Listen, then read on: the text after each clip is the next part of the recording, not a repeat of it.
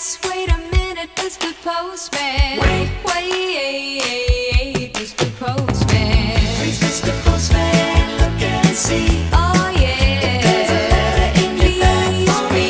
Mr. Postman. Such a long time? Oh, yeah. Only to hear from that boy of mine. There must be some words today from my boyfriend so far away. Please, Mr. Postman.